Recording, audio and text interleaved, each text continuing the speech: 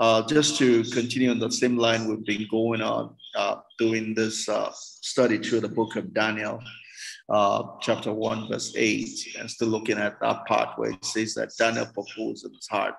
Uh, yesterday, we began to look at some quotes that further help us understand what it means to propose in our heart. And the first one we looked at was Sigmund Freud, uh, which who is one of the foremost psychoanalysts, together with Carl Jung.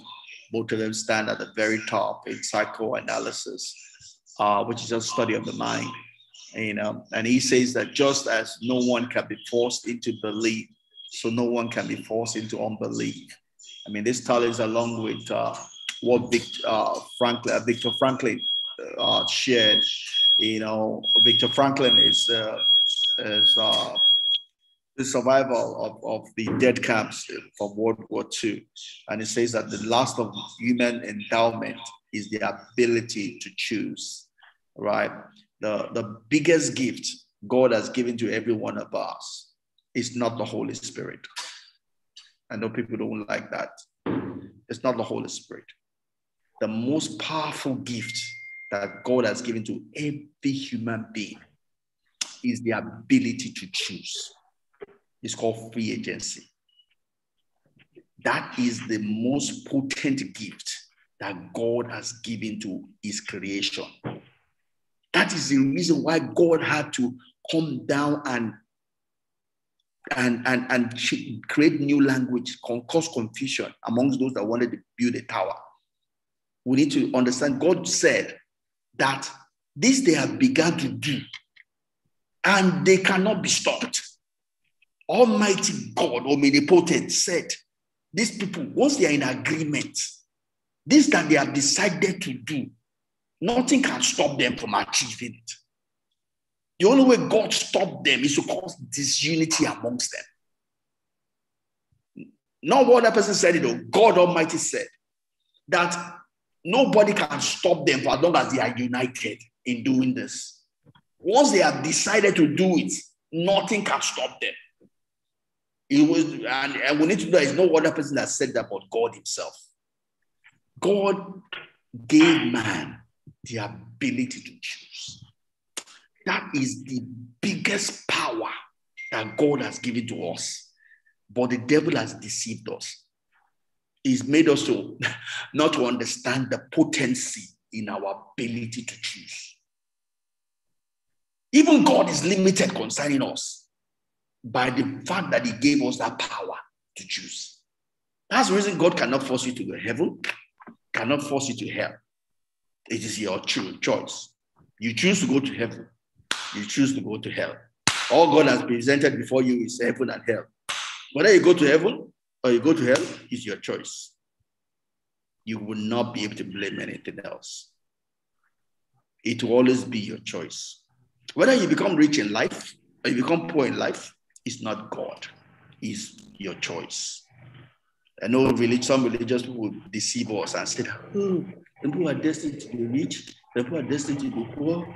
That's a lie from the pit of hell. You will not find that in the Bible. Even that place where we normally quote, oh, the poor shall always be amongst us, is, is a misquoting of the scripture. Because if you look at that place and look at the verses before, God provision is for everybody to be rich. God's provision is for everybody to be rich. But not everybody will do what it takes to be rich. If you don't do what it takes to be rich, you will get the result of what you sow. Because life works by sowing and reaping. Nobody forces you to sow or not sow. You choose to sow. You get the result of what you sow. Right? There's nothing like star. This because of our star. That's how we are like that. That's a lie on the pit of hell. Even if your star is like that, you can change your destiny. You can change your star. But the fact that you have a right to choose, you can change your star. After uh, the wall of Jericho fell down, Joshua cursed, proclaimed a curse. Someone came and, at the risk of carrying the cross, did what, what, what Joshua cursed against. Our time is up. we'll continue tomorrow. God help with us. Uh, I know I'm always controversial stuff. Uh, Auntie Beauty, now. Yeah, I was saying that you're correct. That um, actually, uh, what made uh, uh, God to send Adam and Eve out of the garden was because they choose, you know, out of their will to to disobey. Because the only thing that made the difference god didn't want them to take of that tree.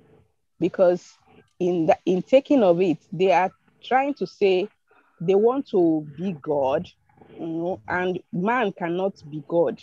So he, he wanted them to use their own will to choose and of course they chose wrongly so uh, the greatest uh, decision making is in man, and t- till date is still man.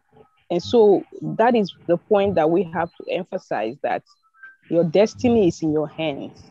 Your destiny is in your hands, even when the DNA uh, portrays that okay, your family line, you are you are all prone to diabetes. You can decide to change that DNA.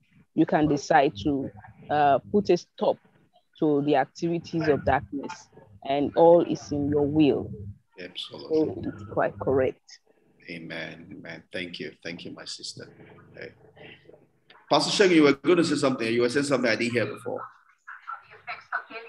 Yes, uh, you're asking uh, Sister Beauty to say something, and I said it's okay.